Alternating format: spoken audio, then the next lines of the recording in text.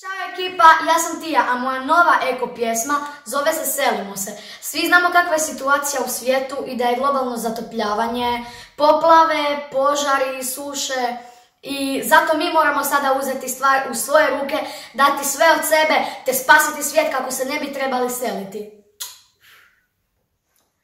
Globalno zatopljavanje, Sahara se širi, topi se led, Poplave suše, požari glad, diže se more, selimo se.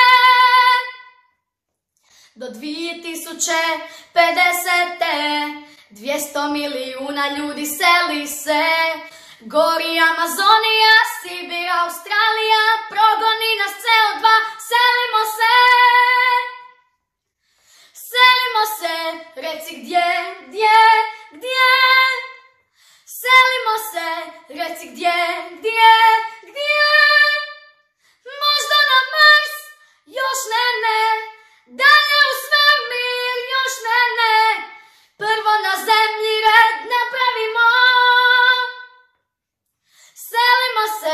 Reci gdje, gdje, gdje?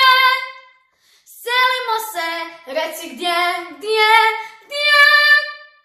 Možda na Mars, još ne, ne, dalje u svemir, još ne, ne, prvo na zemlji red napravimo.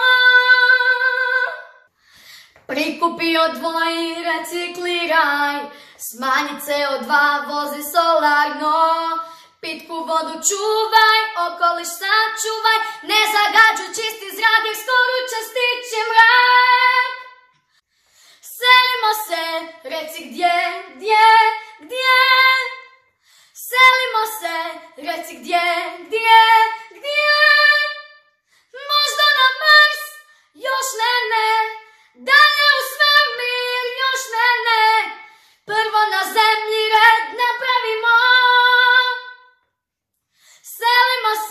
reci gdje, gdje, gdje? Selimo se, reci gdje, gdje,